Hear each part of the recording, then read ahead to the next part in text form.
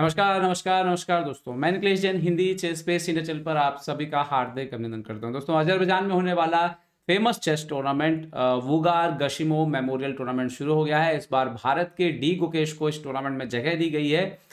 पहले दिन गुकेश ने दुनिया के जाने माने खिलाड़ी, पहले हंगरी के, लेकिन अब रोमानिया के रिचर्ड रापोर्ट को पराजित करते हुए, एक बहुत ही क्रिटिकल मुकाबले में पराजित करते हुए शानदार शुरुआत की। लेकिन हालाँकि उसके बाद उन्हें लगातार दो हार का सामना करना पड़ा है। तो आज दूसरा दिन रहेगा तो देखेंगे आज कैसा वो मुकाबला खेलते हैं। लेकिन देखते हैं, वो मुकाबला जो रिचर्ड रापोर्ट के साथ उन्होंने बहुत ही कमाल की शतरंज खेली है। और आपको बता दें कि पहले दिन अब्दुल सत्ता रेव जो है वो अपने लगातार तीनों मैच जीत करके जो है वो लीड कर रहे हैं। जबकि गुकेश को जो है पहले, इस जीत के बाद उनको अजरबैजान के मामेदो राउफ, मामेदो, मामेदेवरोव नहीं, मामेदो राउफ से पराजित का सामना करना पड़ा। और उसके बाद फ्रांस के वोजेहो पॉन्स से उनको हार का सामना करना पड़ा। हालाँकि वोजेहो पॉन्स वाला गेम बहुत ही क्रिटिकल गेम था, वहाँ पर कुछ भी हो सकता था। तो आइए चलते हैं और देखते हैं ये मुकाबला जिसमें गुकेश ने जीत दर्ज की थी। यहाँ पर जो रेटिंग लिखी हुई है खिलाड़ियों की, वो उनकी रैपिड रेटिंग है। ओके ई फोर खेला यहाँ पर रिचर्ड ने। और यहाँ पर रिचर्ड ओपनिंग के काफ़ी अच्छे जानकार हैं। सी सिक्स खेल के जवाब दिया यहाँ पर। कैरोकॉन खेला गोकेश ने? Knight F three D five और यहाँ पर knight C three E D five या डी थ्री खेलने की बजाय ई e फाइव खेलने की बजाय नाइट सी थ्री खेला यहाँ पर। नाइट सी थ्री वेरिएशन का चुनाव किया यहाँ पर रिचर्ड ने। नाव यहाँ पर bishop G four main line है एच थ्री जिसपे आप बिशप को चुनौती देते हैं कि इससे पहले कि आप अपना स्ट्रक्चर बंद करें, या तो इस बिशप को यहाँ से हटाइए, या फिर अपना बिशप नाइट के बदले दीजिए। तो यहाँ पर ब्लैक डिसाइड करता है। Bishop into F three queen into F three E six और इस पोजीशन पे कंटिन्यू करते हैं डी थ्री रिचर्ड रापोर अपने पीस को डेवलप करते हुए नाइट आता है डी सेवन और अब ये वो मोमेंट था जहाँ पर बिशप डी टू खेला जा सकता था, जहाँ पर जी थ्री खेला जाता है, जहाँ पे बिशप ई टू खेला जाता है, जहाँ पे क्वीन जी थ्री खेल के जी सेवन पे प्रेशर रखा जाता है। ये लाइन है कि आप डेवलपमेंट की तरफ़ जाते हैं, लेकिन यहाँ पर ए थ्री खेला। और शायद बिशप बी फोर को रोक रहे हैं शायद फ्यूचर के लिए बी फोर की तैयारी है। एनी anyway, तो यहाँ पर ए थ्री खेला रिचर्ड रापोर्ट ने जो कि काफ़ी कम खेला जाता है। केश ने जवाब दिया यहाँ पर नाइट जी एफ़ सिक्स निकाला। इन्होंने खेला जी थ्री अब बिशप को उधर से खिलाना चाहते हैं। और ये वो मोमेंट था जब गुकेश ने खेल दी एक नॉवेल्टी मतलब यहाँ पे नेचुरली जो मूव खेले गए हैं जैसे बिशप सी फाइव है बिशप ई सेवन है डेवलपमेंट की तरफ़ जी सिक्स किया गया है बिशप डी सिक्स खेला गया है मतलब तीन चार चाल तो बिशप के ही बेसिकली खेले गए या क्वीन ए फाइव थोड़ा हट के खेला गया लेकिन कभी भी इस पोजिशन पे किसी ने भी एच फाइव नहीं खेला था, जो कि गुकेश ने खेला। अब एच फाइव का संदेश बड़ा साफ़ था कि अगर आप किंग साइड कैसल करने के लिए गए जनाब तो आपको परेशानी हो सकती है।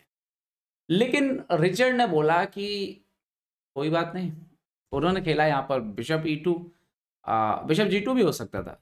यहाँ पर बिशप डी सिक्स डेवलप किया गोकेश ने और अब रिचर्ड ने यहाँ पर कैसल कर लिया। एनालिसिस से समझ में आता है कि यहाँ पर बिशप ई थ्री या यहाँ पर डायरेक्ट डी फोर भी एक अच्छा मूव होता है।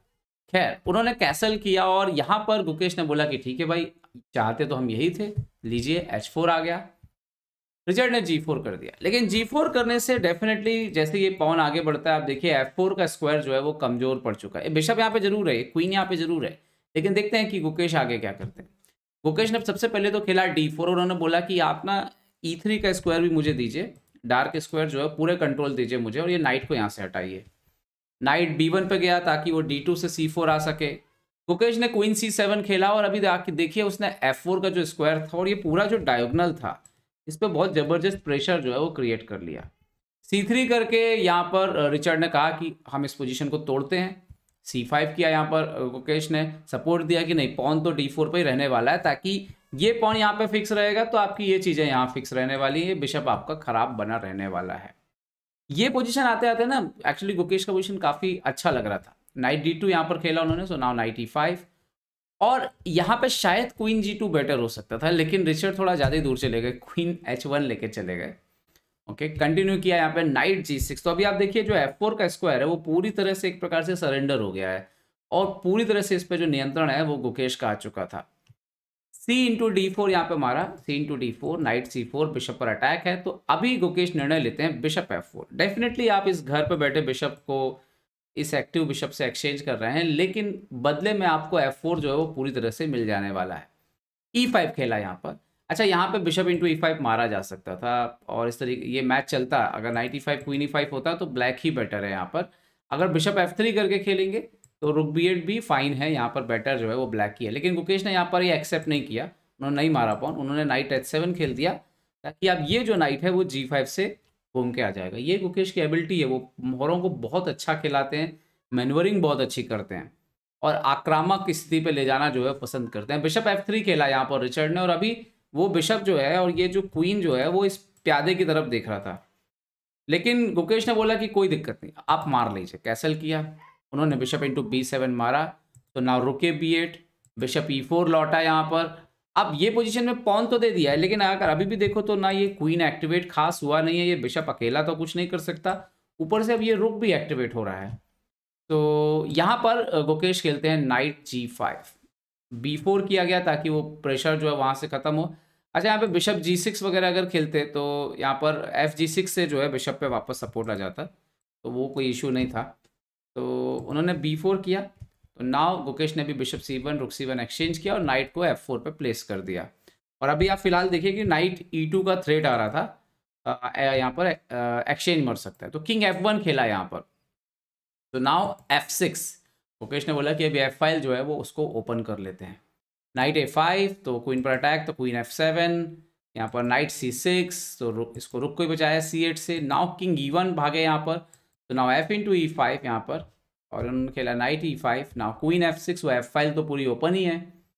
रुक इन to C eight rook into C eight knight D seven आए सो यहाँ पर खेला क्वीन डी एट थोड़ी देर के लिए ऐसा लगा कि एक मौके का इंतज़ार कर रहे थे गुकेश की, जब तक इनका जो भी अटैक है, थोड़ा सा जो काउंटर अटैक आ रहा है, वो रुक जाए नाइट सी फाइव के बाद। यहाँ पर गुकेश ने बड़ी शानदार चाल खेली। रुक इंटू सेक्रीफाइस यहाँ पर rook into c five exchange sacrifice कर दिया।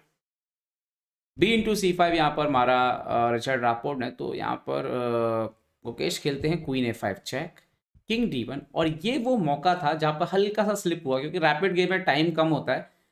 इंजन एनालिसिस में बताता है कि यहाँ पर क्वीन बी फाइव ज़्यादा बेटर होता क्योंकि क्वीन बी थ्री जा रहा था बट सब कुछ इतना आसानी से नहीं दिखता है आपको कभी भी।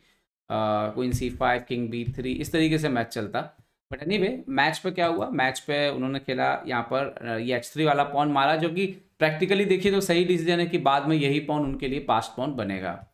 ओके okay, यहाँ पर आए क्वीन ईवन एक्सचेंज के लिए so queen to c five यहाँ पर क्वीन डी टू ले आया तो एक प्रकार से देखो इससे फ़ायदा बस क्या हुआ इस पूरी प्रोसेस पे? कि वाइट का जो किंग था वो अब खराब स्थिति में नहीं रह गया काफ़ी ठीक ठाक स्थिति में जो है वो पहुँच गया था। ओके क्वीन डी सिक्स खेला यहाँ पर। So now queen d six पे uh, उन्होंने अपना रुक भी डेवलप कर लिया रुक बी वन से। और यहाँ पे लग रहा था कि शायद ये ड्रॉइज हो सकता है थोड़ा सा। Uh, बल्कि ये किंग की सिक्योरिटी थोड़ा सा देखना पड़ेगी अगर ये रुक वगैरह एक्टिवेट हो गया। हालाँकि ये किंग अभी भी बहुत खराब था। अच्छा अब इसके बाद क्या होता है? गुकेश ने ये वाला पॉन भी मार लिया। तो गुकेश ऑलरेडी आप देखो बोर्ड पर तो यहाँ पर पाँच पॉन हो चुके थे ब्लैक uh, के पास और वाइट के पास सिर्फ़ तीन पॉन थे ब्लैक के पास दो पासर थे। तो पोजीशन एक्चुअली में बैलेंस थी। अब यहाँ पे क्या होता है कि रिचर्ड रापोर्ट को लगता है कि शायद वो मैच जीत सकते हैं। Queen c two queen c three exchange के लिए ऑफ़र किया उन्होंने एक्सेप्ट नहीं किया। अगर एक्सेप्ट करते फॉर एग्जांपल ये पोजीशन इस तरह से गेम चलता हो ये भी एक्चुअली इक्वल ही। है आ, क्योंकि पॉन नहीं है ना ऑलमोस्ट बोर्ड पर। तो क्वीन ए टू खेला और, और, और उनके पास एक पास पॉन रहेगा ब्लैक के पास। तो क्वीन ए टू खेला so now king f seven rook c one queen b four rook c four और क्वीन बी सिक्स और ये वो मोमेंट यहाँ पे आया रुक सी सिक्स आया क्वीन बी एट कि ऐसा लग रहा था कि रिचर्ड लगातार दबाव बनाने की कोशिश कर रहे हैं। रिचर्ड ने यहाँ पे डिसाइड किया रुक सी फोर गए। गुकेश ने यहाँ पे खेला किंग एफ़ सिक्स और यहाँ पर रिचर्ड ने रुक इन टू डी फोर मार लिया, और ये एक्चुअली में ब्लंडर थी। इससे हुआ ये कि जैसे ही गुकेश क्वीन बी सिक्स पे आए, अब प्रॉब्लम यह है कि अगर आप ये हटते हैं तो ये क्वीन की एंट्री जो यहाँ पे खुल चुकी है नाइट एफ़ टू यहाँ पर आ रहा है। इन्होंने क्वीन ए वन खेला सपोर्ट लगाया रुक के ऊपर। So now knight f two आ गया किंग ई वन गए। तो नाव यहाँ पर खेला ई e फाइव अभी रुक को हटना ही पड़ेगा। उन्होंने जी फाइव सेक्रीफाइस दिया। King g five ultimately rook d five हटना पड़ा। क्वीन ई थ्री के बाद यहाँ पर रिजाइन करना पड़ गया। आप देख सकते हो, और उसके बाद आप देखिए, आपके पास दो नाइट हैं क्वीन अकेला है, और गेम जो है वो नहीं बच पाएगा। यहाँ पर किंग एफ़ वन वगैरह ही जो है वो खेलना पड़ेगा। और उसके बाद भी जो है लगातार चेक के चलते क्वीन ई टू चेक आ रहा है। जैसे मान लीजिए मैं आपको दिखा देता हूँ यहाँ पर आए भी तो ये चेक आ रहा है और उसके बाद ये जो गेम है ये बहुत ही ख़राब स्थिति में पहुँच जाएगा जहाँ से जो है और इस किंग को अभी आप देखोगे तो एक चेक तक भी जो है वो नहीं आ रहा है। नाइट एस थ्री चेक आएगा यहाँ पर और आप देखो कि आपके पास जगह है नहीं आपको यहाँ जाना पड़ेगा। एंड बहुत ही खत, खतरनाक तरीके से जो है इस मैच का यहाँ पर अंत जो है वो हो जाएगा। तो यहाँ पर रिजाइन किया, उन्होंने इस पोजीशन पर रिजाइन किया यहाँ पर। तो अगर हम देखें रिचर्ड रापोर्ट की हम बात करें रिचर्ड रापोर्ट एक स्ट्रॉन्ग प्लेयर हैं और उनके खिलाफ गुकेश की ये जीत बताती है कि जब जब भी गुकेश कॉम्प्लिकेटेड शतरंज खेलते हैं, जहाँ पर वो बहुत ही आक्रामक होने की कोशिश करते हैं, उसके बाद जो है खेल वाकई काफ़ी मुश्किलों में जो है वो अपोनेंट को डाल सकते हैं। चाहे वो फाबियानो करवाना हो, हमने देखा है उनके खिलाफ कैसे ओलंपियाड में उन्होंने जीत दर्ज की थी। तो क्रिटिकल करके गेम को वो बड़े से बड़े प्लेयर को उलझा करके उनसे गलतियाँ करा के मैच को जीत के निकल जाते हैं। उसमें रिस्क काफ़ी होता है, वो खुद काफ़ी रिस्क लेते हैं और यही उनके खेलने का तरीका है, जो वाकई उनको एक अलग तरीके का जो है प्लेयर बनाता है। उम्मीद करता हूँ वीडियो आपको पसंद आएगा पसंद आया तो लाइक शेयर और सब्सक्राइब करना ना भूलें। देखते रहिए chess base India, chess base India के लिए मैं निकलेश जैन। जय हिंद दोस्तों।